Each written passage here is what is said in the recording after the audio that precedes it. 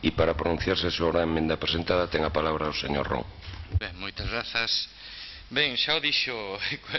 encollo as últimas palabras da voceira do PSDG, en efecto, é dicir o, a emenda do PP ven a dicir o mesmo, pero cunha, eh, digamos,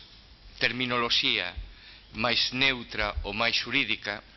eh, sen mencionar os aspectos, pois tal, é dicir, eu non vou lóxicamente, a alternativa galega de esquerda que lle interesa é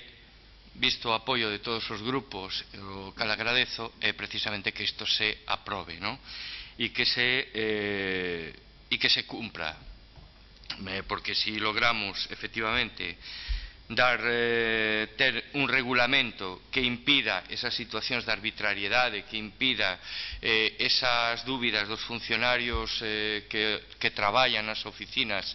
eh, consulares e embaixadas, eh, que, e que favoreza, xa non que impida, senón que favoreza incluso eh, a transposición da normativa europea en materia de asilo 2013, sobre todo no que se refira a acollida e procedimento, que é moi garantista e é bastante clara neses aspectos, eh, pois desde logo eh, teremos conseguido algo moi positivo que é eh, evitar situacións de vulneración eh, de dereitos destas persoas que unha vez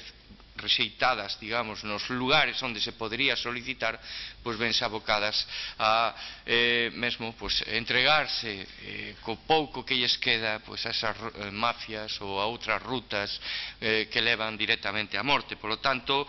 por a nosa banda e, e insistindo en que dicimos o mesmo, pero que o Partido Popular por manifesto o seu apoio a través desta enmenda, pois Alternativa Galega de Esquerda vai aceptalo porque o que nos interesa é o fin que é eh, precisamente eh, ter un regulamento que garanta o dereito de asilo e da protección su subsidiaria nas mellores condicións e ademais na aplicación plena efectivamente da lei e sobre todo tendo en conta os órganos consultivos implicados por exemplo, a CNUR-CEAR, que son precisamente os que deron pé á iniciativa que formulou AGUE. Por lo tanto, por nosa banda, imos aceptar esa enmenda polo ben do fin que é o que no, lle interesa a Alternativa Galega de Esquerda. Moitas grazas, señor Rou.